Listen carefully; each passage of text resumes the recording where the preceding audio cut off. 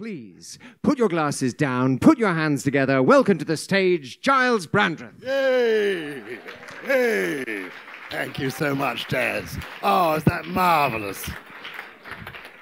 Uh, Des very sweetly said to me when we were in the back there before I came up, his last words were to me, knock 'em dead. I wasn't sure that was entirely appropriate. but I'm so happy to be here, so excited to be here, and, and I'm wearing, as you see, my new rain, new jumper. Uh, thank you. I've been wearing colourful knitwear for half a century and more. Uh, and uh, but when I became, I was a member of Parliament for a while, not not very long. I was a, a member of Parliament, in fact, until the people spoke. the bastards. I, I, only served one term, and uh, by the time the time came round that I lost my seat, by then I, I knew I was going to lose my seat. By, by then I knew, of course, I had contempt for my constituents. Um, but it came as a bit of a shock to the system to find the feeling was entirely mutual. And it didn't help that my darling wife put our house in the constituency up for sale during the election campaign. Uh, on every other house in the street, it said, Vote Brandreth, vote Brandreth, vote Brandreth. On our house, it said, For sale. But while I was an MP, I didn't wear the jumpers. I, I turned up in a regulation suit. Uh, but almost the first time I chose to speak in the House of Commons, who should be sitting on the opposition front bench but John Prescott? Uh, and some of you are old enough to know who I mean. he is still alive, now since COVID, known as Two Jabs Prescott. Uh, but a good man. Uh, Except on that occasion, he didn't seem to me to be a good man because he clocked me. He realized that I was the person who used to wear the color. Oh, the sound is coming and going, uh, but that doesn't matter. Uh, we're used to it coming and going, aren't we?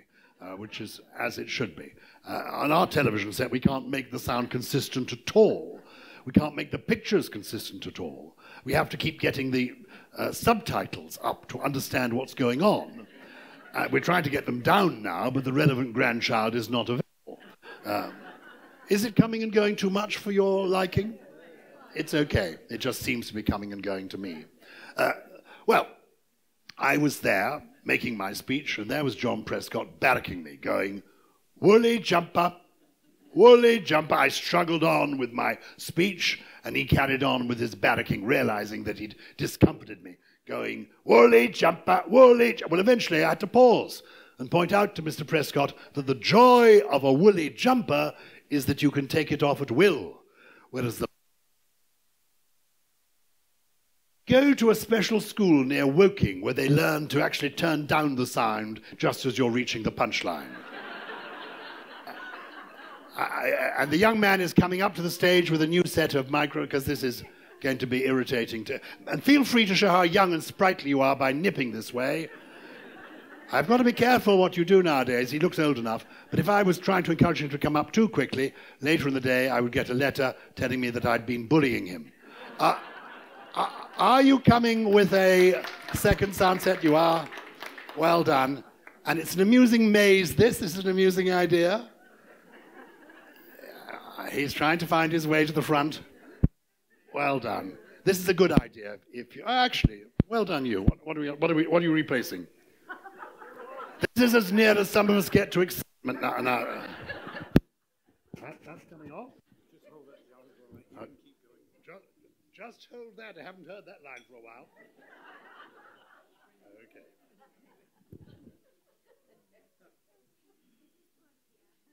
No, madam, it's not part of the act. Oh, you're sorry. I'm looking at now. How are we doing? Don't worry, we've got all the time in the world. These people are only here because they had nowhere better to go. okay, are we, are we on? Well done. Well done. Thank you. Thank you. Good afternoon, ladies and gentlemen. We're in the House of Commons. John Prescott is on the opposition front bench barracking me, and I'm about to say to him, What am I about to say to him? I'm about to say to him, yes, the trouble, yeah, the joy of a woolly jumper, the joy of a woolly jumper is that you can take it off at will, whereas the blight of a woolly mind is that you're lumbered with it for life. But the point of the story is the point of the story is that he got the last. The point of the story the joy of this sort of thing is the first seven minutes are quite amusing, but 40 minutes later, the novelty will have worn off. Are we hoping it's going to work now? Yeah, do you think it is going to work now? If not, we'll do a handheld. Uh, what was that that time? He's coming back. What is your name? Because I think we need to know your name. Uh, because we're clearly going to get you know you better and better as the afternoon wears on. That's okay. Did you have this sort of problem with Izzy? No, bet you didn't. Okay. Oh, she did a handheld. Yeah, wow. Let's not go there. Let's not go there. We're in enough trouble already. We'll give this one more go and then we'll revert to the handheld as well. All right. Uh, so, where were we? I was telling you how pleased I am to be here, but the John Prescott got the last laugh because he ended up in the House of Lords, is now wrapped in ermine, whereas I, I am here with my friend who is. Uh, this is a lot better, is it?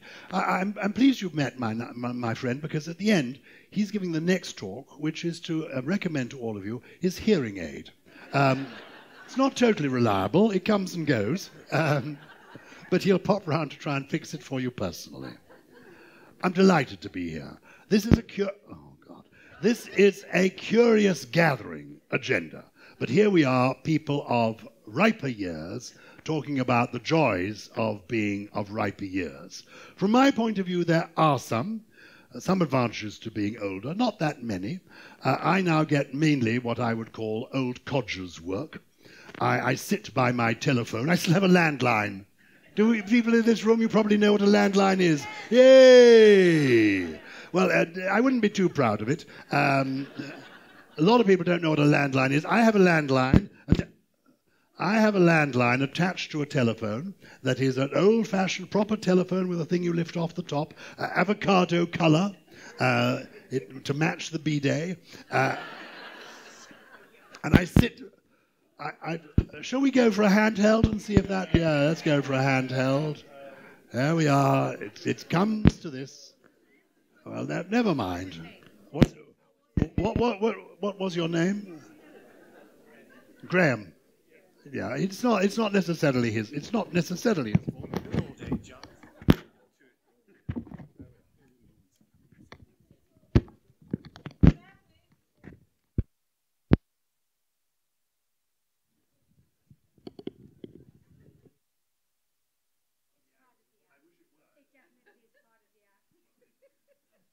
Very sweet. The lady in the front here is saying it's part of the act. It has become part of the act. It wasn't meant to be part of the act, madam.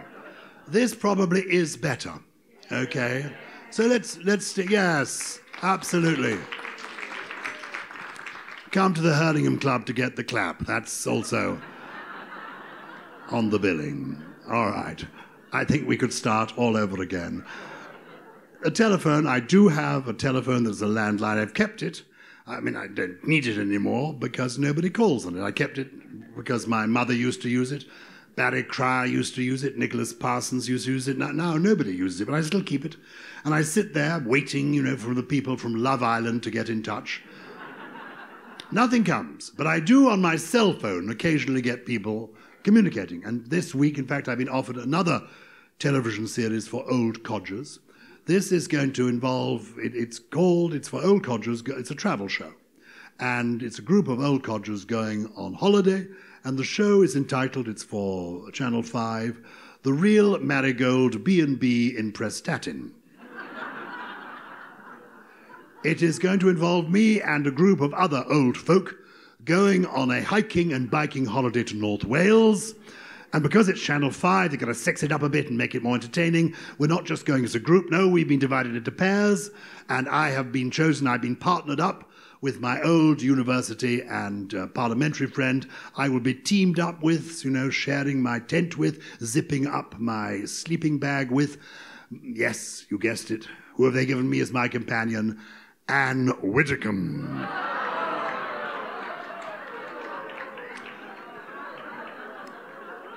I, am very fond of Ann Widdecombe. I know her well.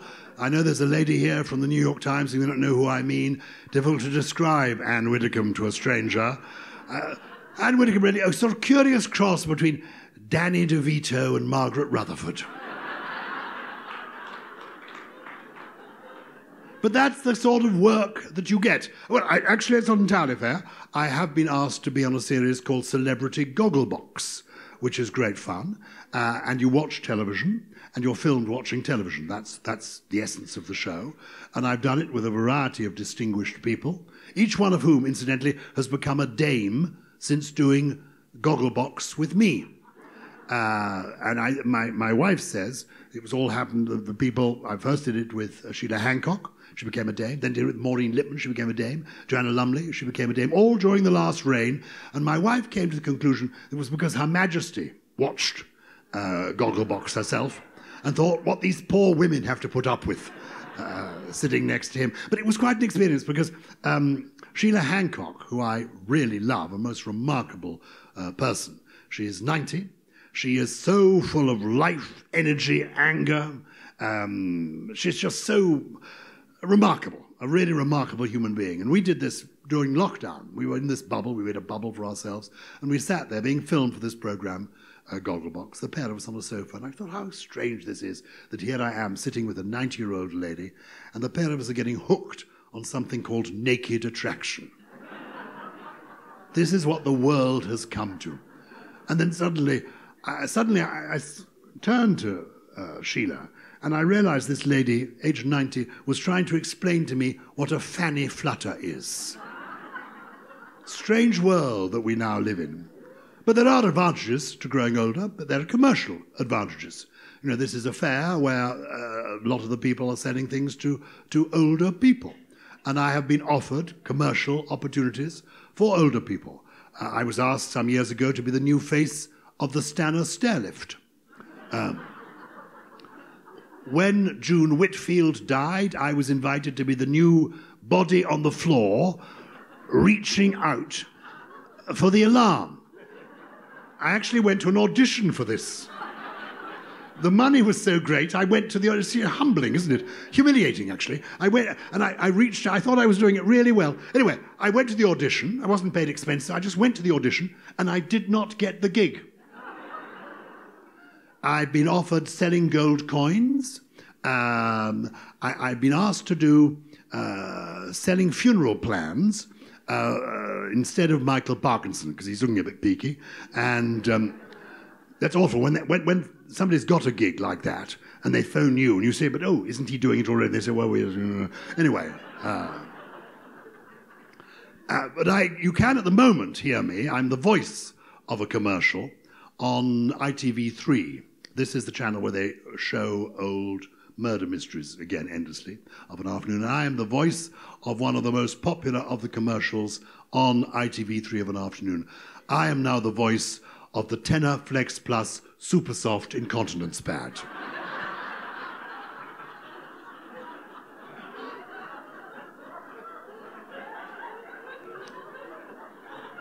Apparently, my dulcet tones are exactly what this product requires smooth, emollient, absorbent.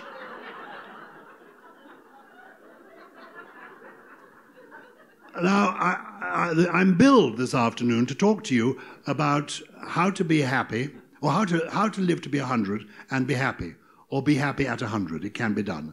And I do believe that it can be done. And uh, I'm just going to check the, the time because uh, it doesn't bother me how long we go on for uh, as you can imagine. Because uh, even if I overrun, you may all need to go away for a comfort break, but I can stand here uh, for as long as it takes, thanks to the Tena Flex Plus Super Soft Incontinence Pad.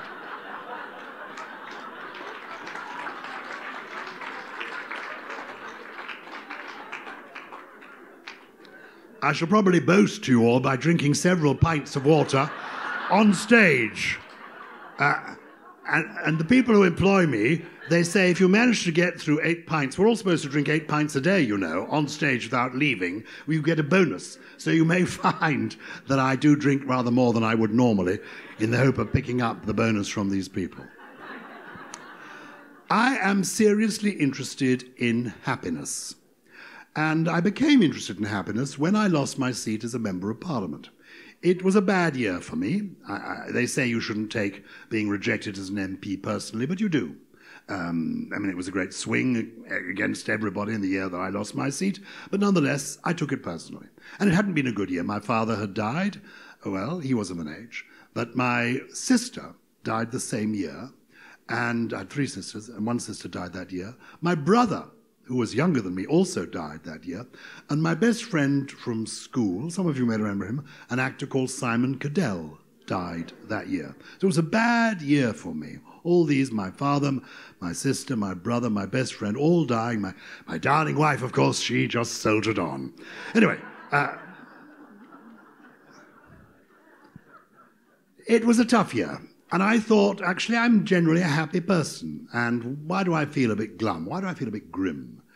And I thought, well, I can do something about this. And I, I was listening to the radio on a Sunday morning, and I heard a program with a wonderful man called Dr. Anthony Clare. I wonder if that name rings a bell with any of you. He was then doing a program called In the Psychiatrist's Chair. And I thought, this is a really wise sounding person. I love the warmth of his voice. I thought, look, go to the top go to get the best. So I made inquiries about where he was based as a psychiatrist.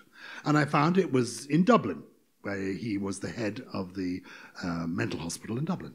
And I booked a flight, went out, made an appointment, went to see Professor Anthony Clare. And I went into his room and I said, I'm looking for the elixir of happiness. He said, Well, if it's an elixir you're after, Dublin's not a bad place to start. And I sat down in the psychiatrist's chair with this remarkable individual. And as happens when you sit in the psychiatrist's chair, the psychiatrist often begins talking to you about your parents. And because my father had just died, I was very conscious of my father. And We began by talking about my father and indeed my mother. And the first thing I asked Dr. Clare is this I said to him, Why, Dr. Clare, did my parents often talk about the Second World War? As the happiest time of their lives. Because my father, during the Second World War, he was in the army for six years, he was risking his life. Um, and, you know, my mother, during the Second World War, she lived in a flat in London with my older sisters, who were little babies then, but bombs were falling.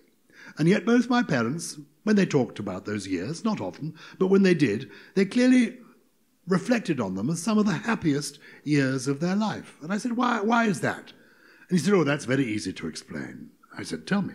He said, Well, your mother, yes, bombs were falling on London at that time, but also in London there was a sense of community, a sense of common purpose, of shared values, a sense of fellowship, of community spirit.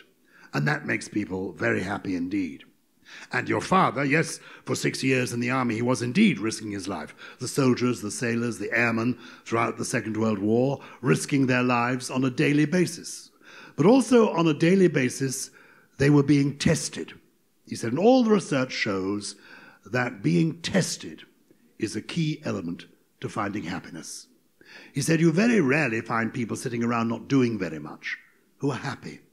An engagement with life, being tested, being challenged is one of the key elements to being happy. I thought this is very intriguing. There's more to this than I realized. So I began talking more to him about the sort of people who are happy in life, because I had already discovered through my research that people who are happy, who report themselves as being happy, live from seven to ten years longer than people who are unhappy. So this little talk this afternoon won't just enhance your lives, it could extend your lives, which is why I'm so grateful that we can now hear it. Um, so I said, well, what sort of people uh, are there? Some people more predisposed to happiness than others? Do beautiful people get to be happier than plain people? He said, oh no, quite the reverse, in fact. He said, it's quite interesting. Human beings find extremes of any kind quite difficult to cope with. So that somebody who is exceptionally beautiful, for example, may find forming a, a proper relationship quite difficult. Marilyn Monroe incredibly beautiful, but found relationships very difficult. Uh, people who are more homely looking are more likely to be happy than people who are very beautiful, which I must say is good news for this crowd. Uh,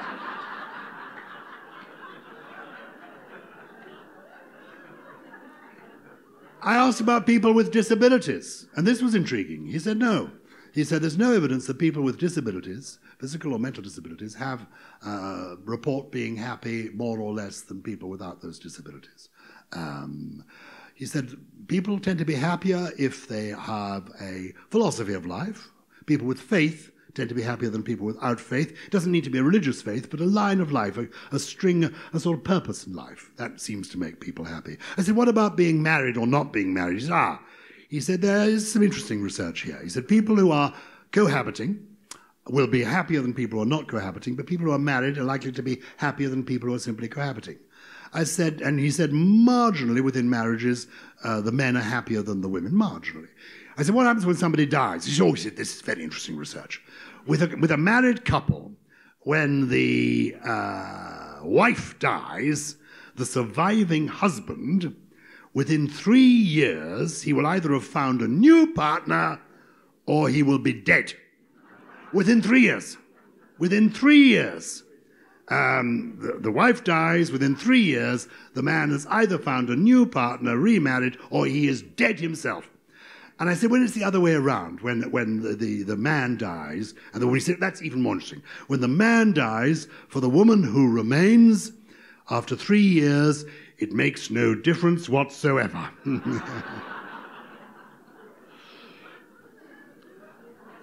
so we became friends. Anthony Clare and I, and between us we evolved, I suppose, what you could call the Seven Secrets of Happiness. And eventually I produced a little book called The Seven Secrets of Happiness, which touches on some of this. In fact, over the years, I think there are probably about 10 secrets to happiness. But the key ones that I'm going to share with you now are ones that uh, you can't just pick and choose. It's not a pick and mix. It's not a game where you say, I have a bit of that and a bit of that. You've actually got to follow all the rules if you want to be happy. And remember, if you are happy, you will live seven to ten years longer than if you are unhappy. But the backdrop to this is thinking about my parents and remembering that a sense of community and being challenged, being tested, are two key elements to finding happiness. Sitting around not doing very much, on the whole, doesn't seem to make people very happy at all. So, the first of the seven secrets, if I get through them, I'll try at least to do five. The first of the secrets is this be a leaf on a tree. Now, what does that mean, to be a leaf on a tree? Well, we are all, I mean, every leaf on every tree in the world is individual, unique, like all of us are unique. We're all individuals. And every leaf on every tree in the world is unique. Uh, but off the tree, it floats about a bit. It feels free, and that's quite exciting. But quite quickly, it floats to the ground and it dies. We need to be a leaf on a tree, attached to an organism that is larger than ourselves and still growing. That's the important element. And it can be anything. It can, it can be a golf club, it can be a choir, it can be a place of work, it can be actually an old folks' home. But there's got to be a sense of community. It's got to be part and parcel of something that is alive and still growing be a leaf on a tree.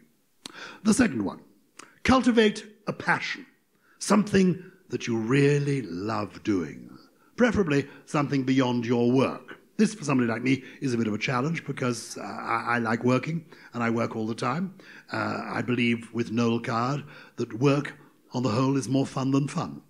Um, but sometimes having your work as the mainstay of your life is difficult if you cease to have that work.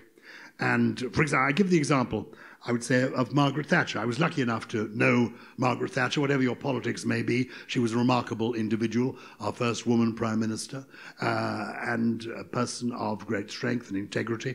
Uh, no sense of humour. That was the only downside with Mrs. Thatcher. No sense of humour. I always felt that must have made bringing up Mark quite challenging. But Margaret Thatcher, born, I think, in about 1926. Now, my wife and I got to know Mrs. Thatcher quite well, particularly towards the end of her life. And she was quite a sad person towards the end of her life, particularly after her husband Denis died. And that was because the real passion of her life was politics. She was driven by politics, is what she loved. And when that passion was denied her, when she ceased to be Prime Minister, she didn't have other resources to fall back on politics to her was everything. And she died quite, quite a sad, person towards the end of her life.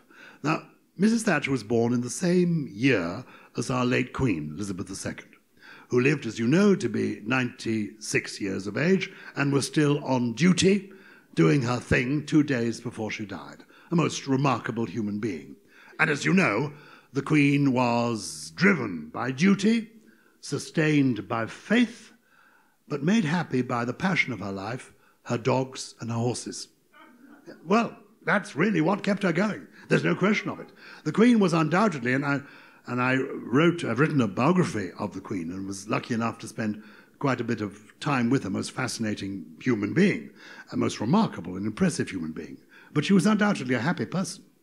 And I believe she was a happy person because she did have the work, she did have the faith, and she did have the passion. The dogs and her, Madam, do you want to say something? And a nice husband, yes, indeed. Uh, that, that, do, that does help. But uh, also having a huge house so that he can live at one end and you can live at the other. Um, but the truth is that when her husband died, uh, one of the things that indeed kept the Queen going was the fact she did have her work. Uh, and she, uh, for example, Queen Victoria, when she was, of course, much younger, when her husband died, Queen Victoria gave way to grief and uh, became a very sad person. She dressed herself in mourning for the rest of her life, became a recluse, to such the extent that people, the government of the day, was anxious uh, that she was not delivering on her duty. The Queen took the reverse attitude, and quite quickly after the death of her husband, uh, and the relationship was wonderful, really wonderful. The Duke of Edinburgh once, when I, I did a biography of him, we were talking, he didn't want to talk about relationships, that wasn't his thing for a moment, but he did point me towards a quotation by Antoine de Saint Exupéry, the uh, aviator and writer of the, the book The Little Prince, where Saint Exupéry says, Love consists not necessarily in gazing into one another's eyes, but in looking in the same direction. The Queen and Prince Philip had a common purpose. They walked in tandem, two very different people. But the point uh, of the, uh, the story is that the Queen deliberately wore colourful clothes. She deliberately got back to doing her duty as soon as she could after his death. She wanted to go back to the races. She kept on feeding her dogs. That, for her, kept her going. And indeed, two days before she died, um, as well as uh, saying goodbye to one prime minister, uh, welcoming another prime minister, and indeed signing off the Order of Merit for Floella Benjamin, she also, um, whose book she was reading at the time that she died. And the reason I think that she wanted to honor Floella Benjamin and uh, give her the Order of Merit was that she read her autobiography and loved it because she felt that here was somebody who had come to this country with her parents in the 1950s, where they had felt they had faced some not very pleasant welcome from a lot of local people, but had coped with it without rancor. And the Queen very much respected people who lived through life without rancor. But having done those duties, there was a two o'clock race somewhere, and her horse won. Um, well, you know, what a way to go if you've lived that sort of a life. Indeed, as the Duke of Edinburgh once said to me in relation to the Queen, if it doesn't fart or eat hay, she is not interested. but the point is, cultivate a passion. Have something in life that you love doing that sustains you. A couple more. Don't resist change. This is the one that I find quite difficult because people, if you're like me, I do resist change. I don't like change. I don't like the 21st century. I, I don't, I mean, I want to live in the 1880s, 1890s, have enough money to do so comfortably. That's my idea of an ideal time. Um, I, I, mean, I do not want to, I, I, I do not wish to learn another password. I just simply don't. Uh, the seven most revolting words in the English language are Good news, we have improved the app. I didn't know what the app was to begin with. I certainly don't need it improved overnight at midnight. The phone works one day, the next day it's been so improved I can't even get into it. The whole thing is a nightmare. I don't want any of that. You know, I'm putting down my shopping in Tesco, unidentified object in bagging area, and I fuck off. But I am wrong. I am wrong, ladies and gentlemen. We need to embrace change. As Dr. Clare pointed out to me, change is the salt in the soup of life. People say, don't rock the boat, but in fact, a little gentle rocking does you good. So that's the one I find most challenging. The one young people find most challenging is the next one, which is break the mirror. Stop thinking about yourself. Just break the. We've all turned our lives into one long selfie. Ah, it's all about me, me, me you know, and, and, my mental well-being. Stop thinking about your mental well-being. It might improve. Um, stop looking in the mirror. Stop thinking about yourself. Nobody is interested. The Duke of Edinburgh, who lived to 99, Duke of Edinburgh told his children, and I don't know if he told his grandchildren, but he certainly told his children, um, uh, don't talk about yourself. Nobody's interested. People are interested in themselves. Not interested in you. Don't talk about yourself. Just don't do it. And his children took that seriously. Uh, that's the reason that I, I know that he would have um, he hugely admired and loved his grandson Harry, but would certainly have regretted the idea of him doing a television interview with somebody like Oprah Winfrey and then writing a book. Don't talk about yourself. It does, it does no good. Brooding about yourself just does no good. And sharing it with other people, if you're in this position, just don't do it. Um, but young people find this one very difficult. Break the mirror. Don't think about yourself. Um, change is the one people I think of our vintage find difficult. Don't think about yourself. We find easier because we've lost interest. Um, that is the truth of the matter, isn't it? I'll just give you a couple more um, because I, have been told I ought to allow you an opportunity to ask a question or two. Um, the, the one is audit your happiness. Audit your happiness. What does this mean? Actually, this means being practical, being pragmatic. Make a list. If you're, if you're not happy, if you think the things that don't make you happy, make a list of all the things you like doing most and a separate list of all the things you like doing least. And try this year to lengthen the list of things you like doing and shorten the list of things you don't like doing. So if there are things you really don't like doing, you know, babysitting for the grandchildren, just um, uh, I'm not, I'm not suggesting that would be one of the things, uh, but whatever it is, actually make the list and make one list longer than the other. That's a good thing to do. So the next one that I will mention actually is a nice one, uh, and that is count your blessings. I find this is a very good thing to do in the evening if you are trying to get to sleep. Uh, actually, I have no difficulty getting to sleep. I do wake, though, at about five in the morning and uh, find get, going back to sleep then quite difficult. And I do a couple of things. I, I play alphabetical games. I'm doing uh, playwrights at the moment, uh, international playwrights from A to Z. And I try to make them sort of obscure, you know, nothing easy like Alan Ayckbourn. I'm Jean Anouilh, um, Samuel Beckett, Paul Claudel, uh, um, Friedrich Dürrenmatt, uh, and then reduced to T.S. Eliot.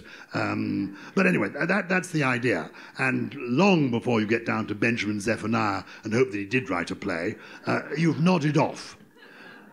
But the one I enjoy doing better is Count Your Blessings. And that is a very nice way to get to sleep, but also it's a way of reminding yourself actually how many blessings uh, you have. And the blessings you count can be simple ones. And um, I try to include in my list of blessings every day something that I have been in awe of that day. And when I say being in awe of, that can be going to an art gallery. I went this weekend, I was lucky enough to be in Chichester this weekend, and I went to an art gallery there and saw some paintings by Gwen John. And they were, one of them was so wonderful. I stood in front of it and I thought, oh, this is my, I'm in awe of this today. And so I counted it my blessings last night. But uh, uh, at home, we have a small garden, and there were some flowers from the garden that the uh, very nice person who helps with the cleaning at home, who's a brilliant flower arranger, Marta, she'd put them in a vase. And they looked so wonderful, these flowers in the vase. I thought, oh, I, in fact, I will tweet the picture later so that you can see it. Those of you who do Twitter um, can, can, you know, because you do need to have a passion in your life. It could be Twitter. Um, uh, you can see the picture of the flowers. I was in awe. So it can be little things. Um, you know, when you come off the diet and decide you're going to have real butter again because you're 87 and uh, what the hell. Um, you know, butter on toast, too much butter on toast that has actually been cooked a little bit too much, with just the, an under amount of the raspberry jam. I'm ready to be in awe of that any day. So I include that in my list of things to be in awe of. The point of what I'm telling you is this combine all these secrets, and you will live longer and be happier. Before I give you my, my last secret, since I've been asked to throw this open to the floor, if anybody, do not go to them with the roving mic, uh, Graham. It's a nice idea, but stay where you are. Uh, if you have a question to ask, feel free to ask it um, or I will proceed. If you some, uh, something would lead the conversation in a new way, anyone got something they want to ask me uh, of any kind um, before I go on to the last secret? Yes. Ah, where can we get my jumper? Thank you. Very good. What is your name, madam? Hazel. I, would already I'd clocked you earlier, and I had the answer to what I hoped was going to be your question already on the edge of my mouth, uh, which was 07772 416 415. You, you obviously you live at Hurlingham Club, do you? Or, or you just thought, well, why not wear the onesie on the underground to get there? Yes. She looks charming. She looks charming. Just a bit of banter. Um, where do you get the jumpers? Uh, I love the jumpers. This is a one-off jumper, uh, unique. Uh, there isn't another one, and um, that, that's it. Uh, lady called Susie Johns designed it. Um, well, the person who designed the King's Cipher designed it, but she created it, which is marvelous. Uh, I think you are what you wear, and having been silly about your very nice outfit, uh, can I say congratulations to the people who actually thought, hmm, like the lady who's come wearing a fun hat. Uh, it's a lovely thing to do. Uh, yeah, why not? Uh, when, when I was very young, 50, 60 years ago, I used to talk at ladies' luncheon clubs when they existed. And the ladies all turned up wearing wonderful hats. And it was a fun thing to do. And they said it finishes the outfit. It's a fun thing to do. So you are what you are. Um, I, you can get my jumpers, uh, and I've been wearing these jumpers for more than 40 years. Um, from a, uh, you go to something called Gyles and George. Uh, .com, gylesandgeorge.com. And um, if you're downsizing, you could afford to buy one. Um, I can't decide about the downsizing. My wife's quite keen on the downsizing. I'm not. Um, but there you go. So, yes. Anything else? Anyone? Yes. What is my passion? Yeah. What is my real. Well, if, if I'm being honest with you, language is my passion. I love words. Words to me are what music is to many other people. I love words. I love, I love poetry. Learning poetry by heart is a very good way of helping to keep dementia at bay. I did some research on this a few years ago before producing a book called Dancing by the Light of the Moon. Some of you may have been to the most delightful talk given by two young men, one of whom is the grandson of Dame Judi Dench. And Dame Judi Dench, uh, who I'm lucky enough to know and do a, a show with. In fact, I'm going to be doing it next on the 11th of June at Hampton Court Palace in the evening. Do come along. It's for the Queen's Reading Room, a wonderful charity that the Queen has started in which Dame now is involved. But I remember interviewing Dame Judi about words and language because she loves Shakespeare particularly. You were with her this morning. Oh, of course you were. Uh, the Chelsea Flower Show, of course. You both have roses named after you, I imagine. As it should be. Well, that. Uh, um, yeah. Uh, it's very funny, you know, the dahlia is called the dahlia, even though the man was called Dahl. Anyway, that's neither, neither here nor there. Uh, but Dame Judi Dench, I said, what's the first poem you learned as a little girl? Because not much of the poetry we still have in our heads is what we learnt when we were small children. And she said, it would be Shakespeare. I said, no, no, no. When you were a very small girl, you know, the nursery. She said, no, it'll be Shakespeare. I said, I find this very hard to believe. She said, yes, I definitely, the first things I learnt were Shakespeare. And I went to see the head of memory at Cambridge University, who explained to me that that's quite possible. She said, yes, it is quite possible. She went to understood it, but she could well have learnt Shakespeare very young. Because you know the iambic pentameter that Shakespeare is writing in, the iambic pentameter is the same rhythm as the beat of your heart. That's why it's called learning by heart. That is the rhythm, the iambic pentameter. So it's quite possible to have learnt Shakespeare at a very young age.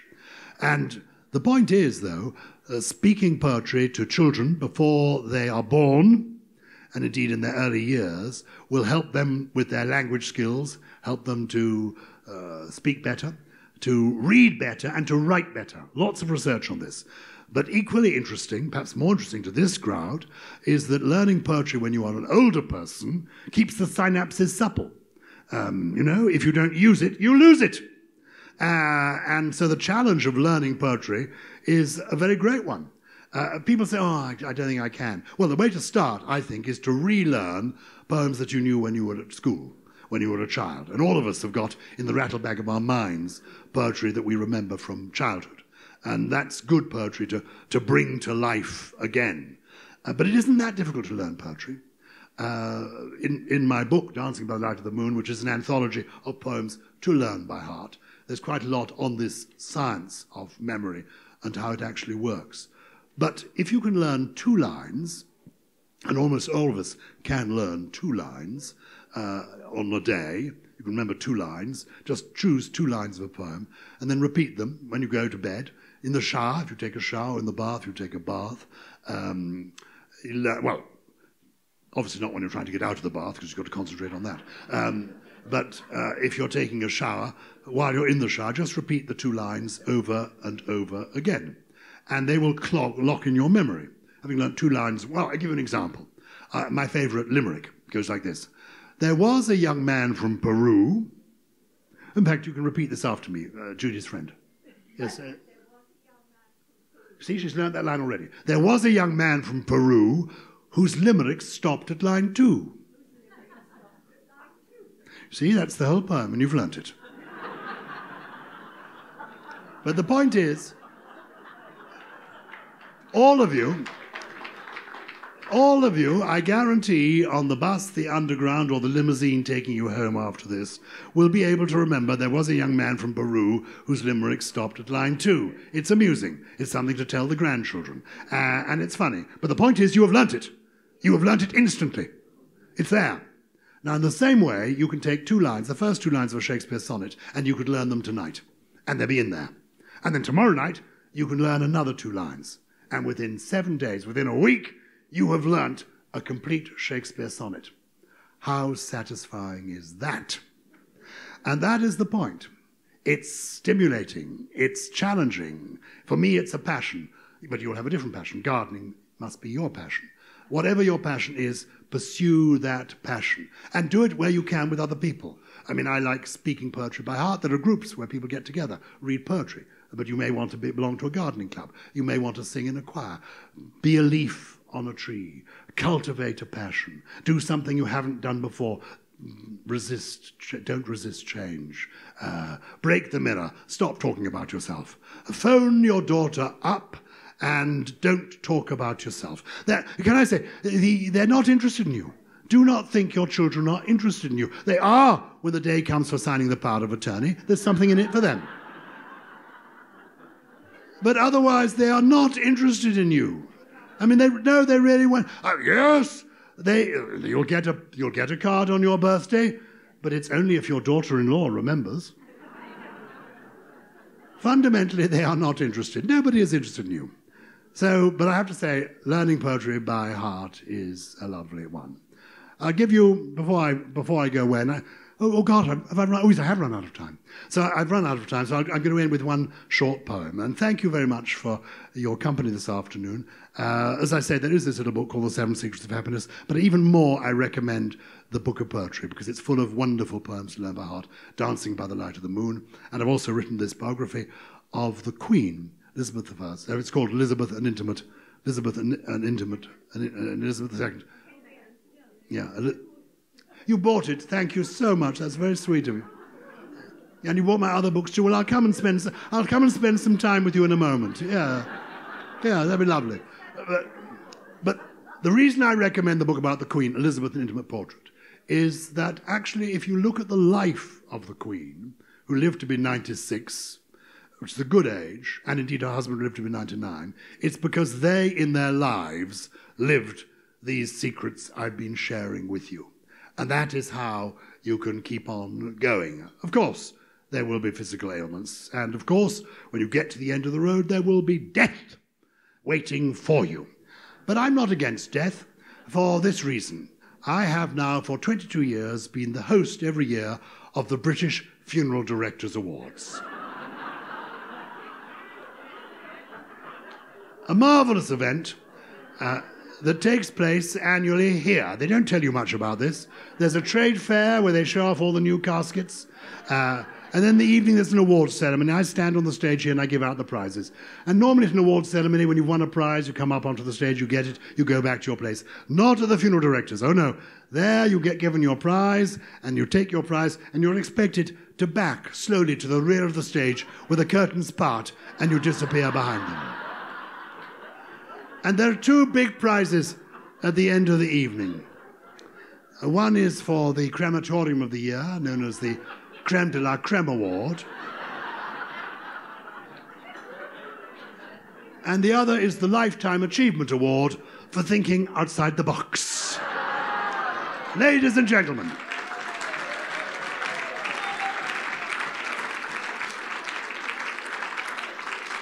I'm going to end with four lines of poetry. What a lovely crowd you've been. I congratulate the agenda people on making this happen. As a kindness to them, before you go, do waft around the stalls pretending to look interested, okay? Uh, it's, it's a fun event. It's good to get out. Uh, but remember what we need in life are basically laughter and friendship. Four lines by Hilaire Belloc.